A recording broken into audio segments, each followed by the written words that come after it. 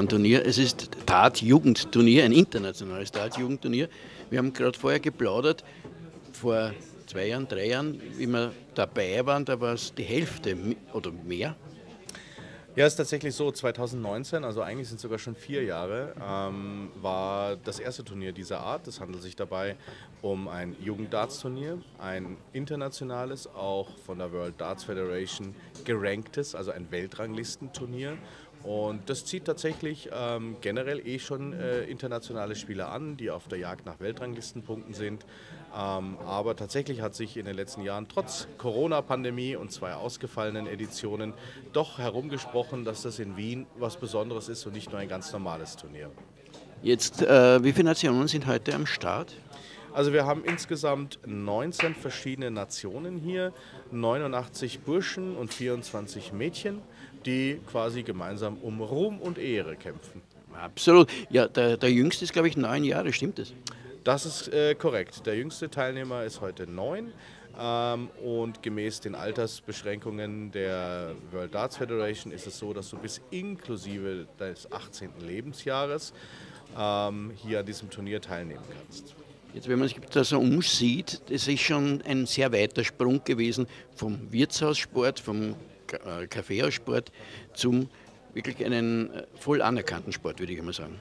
Ja, in der Tat. Also wir haben das Glück, dass wir 2020 äh, als assoziiertes Mitglied in die Sport Austria aufgenommen wurden und jetzt im Oktober ähm, 22 auch als Vollmitglied, ähm, was uns den Status als anerkannte Sportart in Österreich quasi ähm, zusteht.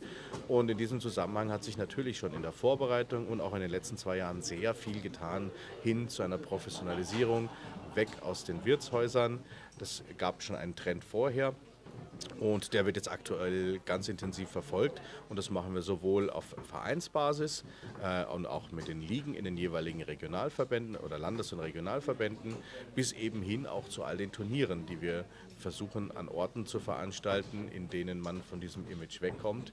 Ähm, wir haben das Glück, eine Indoor-Sportart zu sein. Wir sind also nicht auf bestimmte Sportstätten angewiesen. Wir haben natürlich äh, geeignete Anlagen, äh, die wir fix, fix, fix, fix installiert haben. Schwieriges Wort.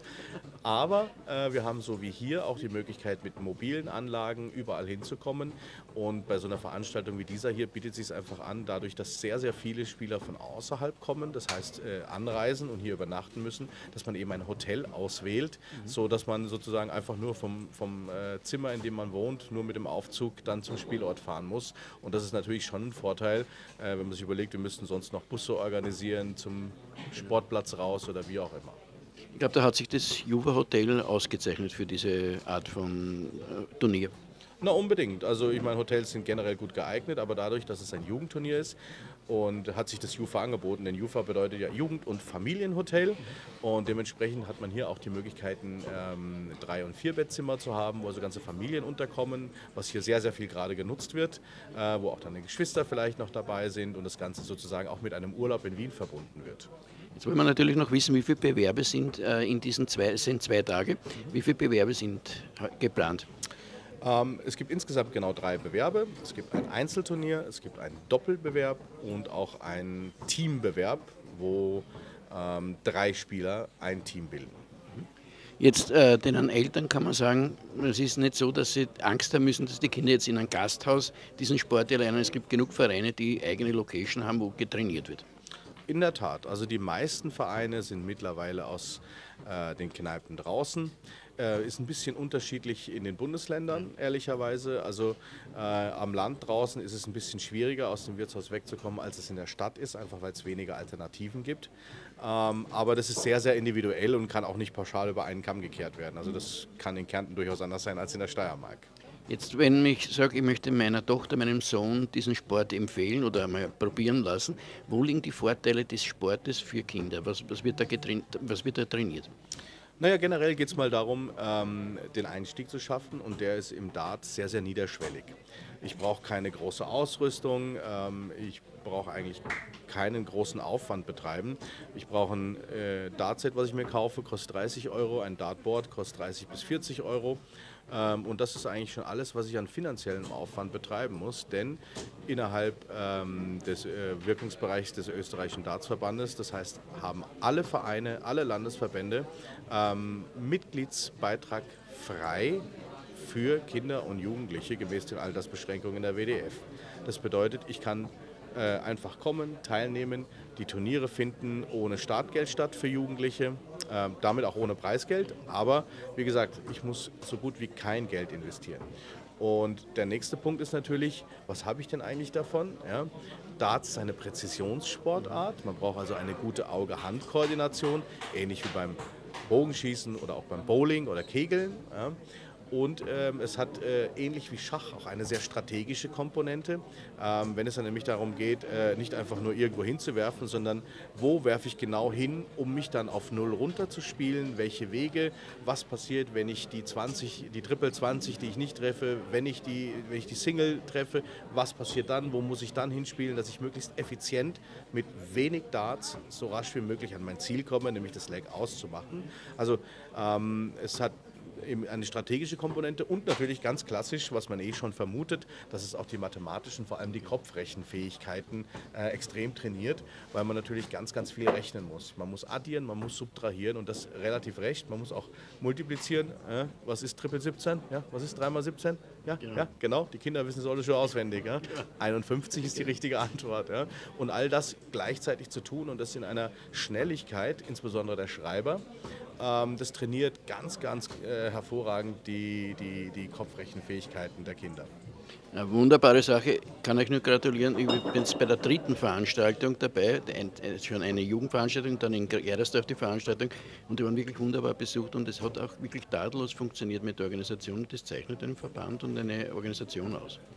Ähm, herzlichen Dank. Ja, das ist äh, tatsächlich so, dass der ÖDV sich die Jugendarbeit als einen seiner Schwerpunkte ausgewählt hat.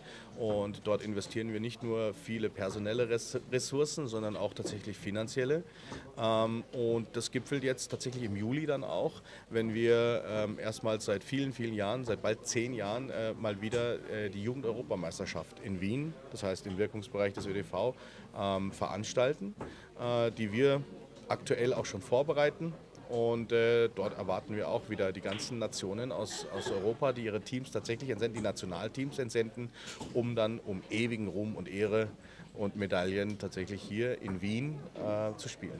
Wunderbar, dann sage ich schon recht herzlichen Dank. Es ist eine tolle Kulisse, wunderbar zuzusehen. Und wie du gesagt hast, mit dem konzentrierten, also wenn man die Leute anschaut, kurz bevor die werfen, die sind wirklich voll konzentriert. Also ich glaube, da, da, die lassen sich durch nichts ablenken.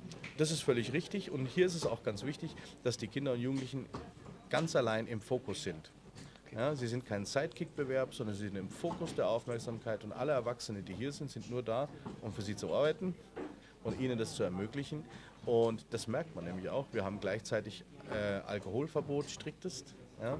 Ähm, und die allgemeinen Regeln, dass man kein Handy anhaben darf und so weiter und so fort, sie führen einfach dazu, dass man ein Ambiente und einen Rahmen schafft, in dem man sich tatsächlich konzentrieren und fokussieren kann. Denn wie bei anderen Präzisionssportarten, beim Schießen zum Beispiel, ähm, funktioniert sehr viel über das Gehirn, das Fokussieren ja, und auch die Möglichkeit, den Rest ausblenden zu können, in einen sogenannten Tunnel zu kommen. Das ist ganz, ganz wichtig, ähm, damit man eben die Präzision dann tatsächlich auch an den Tag legen kann, die erforderlich ist, um am Ende auch sportlich realisieren zu können. Ja. Dann kann ich nur sagen, einmal ausprobieren, wer seinen Kindern das zutrauen will, soll es einmal ausprobieren, soll sich an einen Verein, Verein wenden. Ja, es kostet ja nichts, haben wir gehört. In der Tat.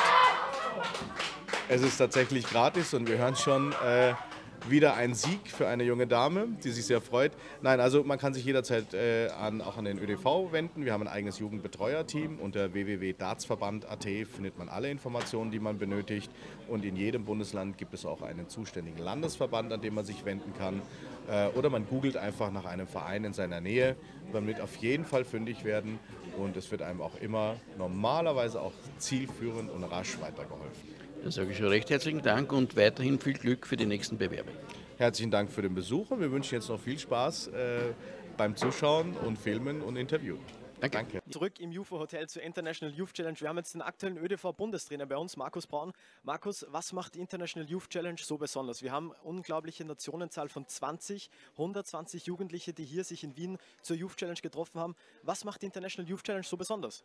Ja, es ist eben auch diese Dimension, also die Quantität schon einmal extrem hoch, aber wenn man jetzt schon zuschaut beim Aufwärmen und so weiter, also es ist auch eine große Qualität vorhanden und das macht es eben ganz besonders und dass das in Wien ist, ist besonders äh, für Österreich natürlich wunderbar. Hm. Auf jeden Fall eine tolle Plattform, die hier den Jugendlichen geboten wird. Äh, welche Möglichkeiten, welche Chancen sagst du, öffnet sich den Jugendlichen, die hier bei der Youth Challenge teilnehmen? Ja, Sie können sie mal ins Rampenlicht spielen. Wie man sieht, ist, ist, äh, ist, ist, TV da, wird das übertragen. Es gibt eine große Resonanz natürlich auf Facebook und in, äh, in den Medien, sozial, sozialen Medien. Das heißt, man kann sich hier äh, wirklich sehen lassen und wird gesehen. Und das ist eigentlich für diesen Sport, so muss man das sagen, äh, extrem große Chance und für die Jugendlichen total positiv und äh, wunderbares Feedback ist da zu erwarten. Was natürlich bei der Youth Challenge auch hervorzuheben ist, ist dann immer das Rahmenprogramm am Samstagabend, wo es dann einfach auch abseits vom Bord darum geht, die Jugendlichen so zu sozialisieren, in Gruppen zusammenzuführen. Äh, wie ist diese Idee entstanden, dass man auch sagt, man möchte die Jugendlichen auch abseits vom Bord etwas zusammenführen? Ja, das ist hauptsächlich, äh, sage ich mal, eine Idee von unserem Vizepräsidenten, ÖDV-Vizepräsidenten, Jugendverantwortlichen und auch international Verantwortlichen, Diplom-Ingenieur Dietmar Schumann. Der macht das wirklich da perfekt und hat das gesehen, dass das ein ganz wesentlicher Teil ist, dass die Jugendlichen auch außerhalb vom Dartsport äh, untereinander Kontakte schließen, natürlich auch die Eltern und die Funktionäre untereinander. So entsteht ein totaler guter Austausch und auch Motivation und natürlich auch persönliche Freundschaften international. Also das ist ein wesentlicher Bestandteil an diesem schönen Sport. Sport. Wir stehen hier bei Sport, Sportmotorik. Also was Motorik ist, kann ich mir ungefähr vorstellen. Was ist damit gemeint eigentlich? Also Sportmotorik bezieht sich im Endeffekt auf die Bewegungsabläufe des Körpers. Das heißt, muss nicht immer nur beim Sport sein, es beginnt schon beim Stehen, beim Gehen hat man immer Bewegungsabläufe, motorische Bewegungsabläufe, natürlich spezialisiert auf den Sport. Also wir reden hier von Laufen, ja, Radfahren, aber eben auch das Dartspielen. Immer mehr im Kommen in den letzten Jahren, stetig steigend. Und gerade hier spielt die Balance und die Körperhaltung natürlich eine hohe Rolle. Und genau das analysieren wir.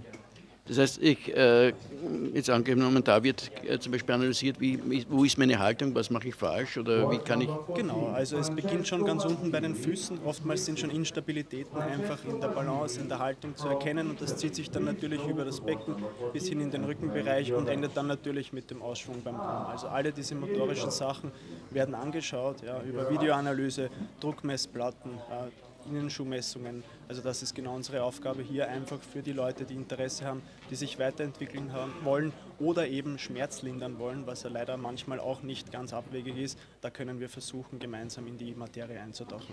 Das heißt, wenn ich das richtig verstehe, das ist nicht nur für Dart, das ist nicht, nicht nur zum Beispiel für Handball, Fußball, sondern auch zum Beispiel Walken oder einfach das einfache Gehen. Ganz genau so ist es. Also äh, ein großer Prozentteil unserer Kundschaften haben wirklich einfach auch Probleme im Alltag. Sei es Rückenbeschwerden einfach nach dem Aufstehen, sei es beim längeren Gehen, dass irgendwo etwas zwickt an der Fußsohle, im Knie, im Beckenbereich. Also es bezieht sich einfach auf alles, was eigentlich Bewegung zu tun hat. Das heißt, wenn jemand jetzt Interesse daran gefunden hat, kann sich an Sportmotorik Wien wenden. Genau, wir haben alles ganz genau beschrieben auf unserer Homepage, unsere Dienstleistungen, unsere Angebote, mögliche optionale Einlagen, Versorgung etc. und können da versuchen, den Menschen da einfach zu helfen, wieder schmerzfrei durch den Alltag zu gehen, laufen, sporteln oder einfach zu, so, zu sagen, ich möchte den nächsten Schritt gehen, leistungstechnisch einfach auch im Sportbereich. Ich möchte besser werden, ich möchte einfach meine Performance verbessern. Wobei kann man vorstellen, dass das oft in manchen Fällen oft nur Kleinigkeiten sind, die man dann korrigieren kann. Absolut. Also es sind teilweise Kleinigkeiten im Millimeterbereich, die mhm. einfach mhm. einen, einen, einen Unterschied ausmachen. Also man beginnt mit Kleinigkeiten, die dann auf Dauer einfach einen großen Effekt auf das Wohlfühlverhalten haben, sei es jetzt eben im Alltag oder auch im Sportbereich. Der Bandbreite, wie, wie ist die abgedeckt? Also im Großen und Ganzen von bis. Also es geht von jugendlichen Nachwuchsspieler, Spielerinnen in den unterschiedlichsten Sportarten, sei es Tennis etc., bis hin zum hohen Alter, wo Mitte 85 gerade von der zweiten Knieoperation und künstlichen Knie zurückgekommen wird, wo es nur mehr geht, möglichst kurze Strecken ohne Stecken gehen zu können. Also wirklich von A bis Z ist hier alles dabei. Wunderbar, also wer Interesse hat an Sportmotorik, auf die Webseite schauen und sich informieren. Webseite schauen und einen Termin ausmachen. Perfekt, danke. Danke ebenfalls. Danke. Ja, jetzt habe ich einen Spieler aus der Schweiz da, äh, Dartsport. Wie, wie kommt man zum Dartsport? Also es gibt eigentlich verschiedene Wege, wie man dazu kommt. Ich selber, ich bin eigentlich wie die meisten über die Weltmeisterschaft dazu gekommen, welche eigentlich immer im Dezember im Fernsehen übertragen wird. Dann sieht man das mal so, dann überlegt man sich selbst mal ein bisschen zu werfen, dann wirft man ein paar Mal und findet dann eigentlich die Faszination dahinter. Oder man wird davon gepackt und so kommt man dann eigentlich schlussendlich in den Dart-Virus in das Spiel hinein. Wenn ich mir so umschaue, das ist ja wirklich sehr gut besucht. Äh, das heißt, das zeigt aber, dass der Dartsport äh, Luft nach oben noch hat. Natürlich, also ich meine, man sieht, es gibt viele Nationen inzwischen. Wir haben jetzt heute, wenn ich es richtig verstanden habe, 19 Nationen, die da sind. Letztes Jahr waren es, glaube ich, noch 12 oder sowas. Also von dem her, es werden immer mehr Nationen, die Junioren haben, die an die Turniere kommen wollen. Das heißt, die, der Nachwuchssport wird größer. Es gibt immer mehr Junge, die spielen wollen und das ist immer erfreulich zu sehen. Wenn man Dart hört, denkt man immer an, an äh, England oder äh, Irland, aber ich glaube, in der Schweiz ist der auch sehr stark verbreitet. Ne? In der Schweiz ist es bis jetzt noch eher eine Randsportart. Wir haben einzelne Spieler, die ähm, langsam nach vorne kommen, die auch einen Eindruck machen können. Aber momentan, wir sind auch in der Kurve, wo wir jetzt immer mehr, immer neue Junioren dazu kommen, immer mehr und dadurch auch die Spieler und die Qualität immer mehr am Steigen ist. Äh, wenn man Dart spielt, was, was trainiert man da so? Ähm, ein großer Teil ist eigentlich nur Routine trainieren. Das heißt einfach die ganzen Abläufe, die du hast, die eigentlich so stark verinnerlichen, dass du nicht mehr nachdenken musst, was du machst. Und dann das Zweite, was natürlich, natürlich alle immer sagen, das ist eigentlich die Doppelüben. Das heißt, wenn du eigentlich auf die Doppel kommst, dass du dann auch aus dem Black wieder herauskommst und dann nicht auf dem Doppel stehen bleibst. Das heißt, man, mental muss man gut drauf sein. Ja, das natürlich. Mental ist einer der wichtigsten Anteile. Und da muss, sollte man definitiv auch nicht das Training darin unterschätzen. Mhm. Ähm, ich selbst muss ehrlich sagen, ich habe auch lange immer gedacht, ja, ich, zuerst mal lerne ich Dart spielen und dann lerne ich, wie ich mental damit umgehen kann, finde ich inzwischen im Nachhinein ein Fehler von mir. Der mentale Aspekt ist sehr wichtig, weil wenn man die Leistung nicht bringen kann, weil man eben mental nicht bereit ist, wenn man dem Druck nicht standhält, dann bringt das ganze Training nichts. Wie kann man das mental trainieren?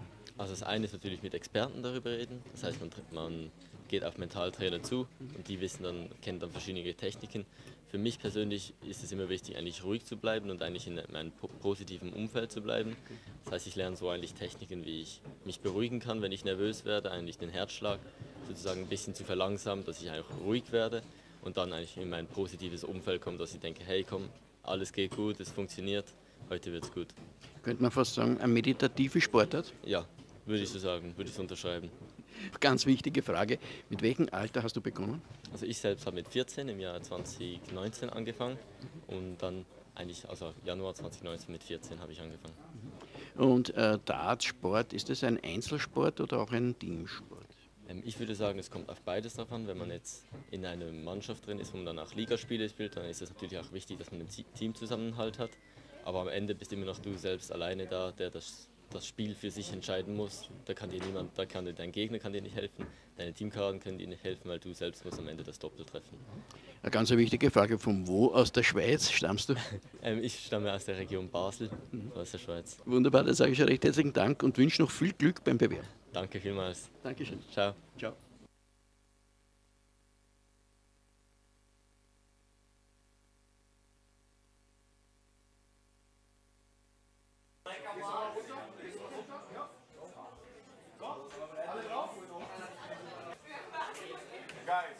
Guys, please enjoy the very moment when you get the finest of this tournament. Congratulations to Team Hungary!